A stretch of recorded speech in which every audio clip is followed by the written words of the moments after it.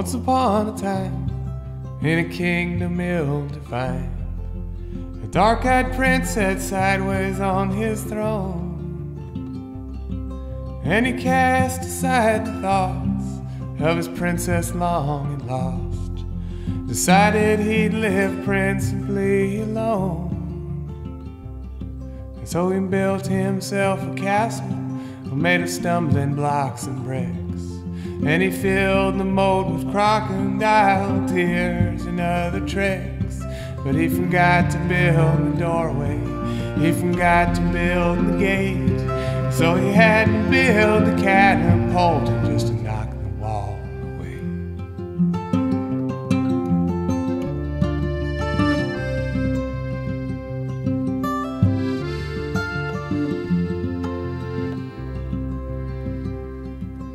And he'd venture out at night, being jeweled and erudite.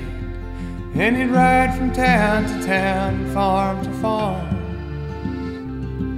And he'd laugh at all the sheep and at the company they'd keep. And he'd burn down all the churches and the barns until he'd find a proper damsel. Then he'd play the proper prince.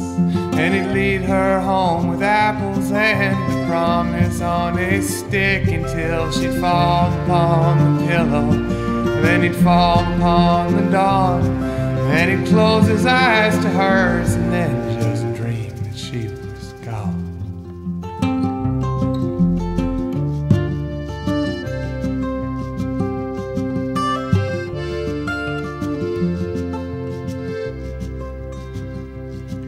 And he swore upon the crown that he'd melt desire down. And he boarded up his windows and his eyes. But he still could hear the sound of the rain upon the ground. And he still could feel his face against the sky. And how the birds and how the bees, they each took turns upon their knees. And how to take me if you dare to turn, thank you if you please. And how the nectar in the flowers, how the flowers on the vine where they turn his blood from fever into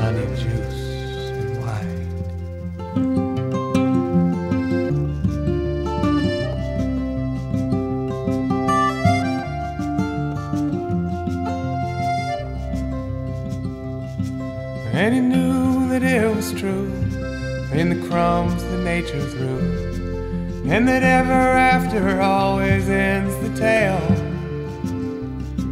And somewhere in disguise, there was a girl with lantern eyes who could fill the darkest shadows with detail. So he'd build another tower just to tear another down. And he'd lay a trail of candles from his castle into town. But if you go there, please be careful. And if you leave there, please be quick. Cause he'll rob your eyes of color and your bones.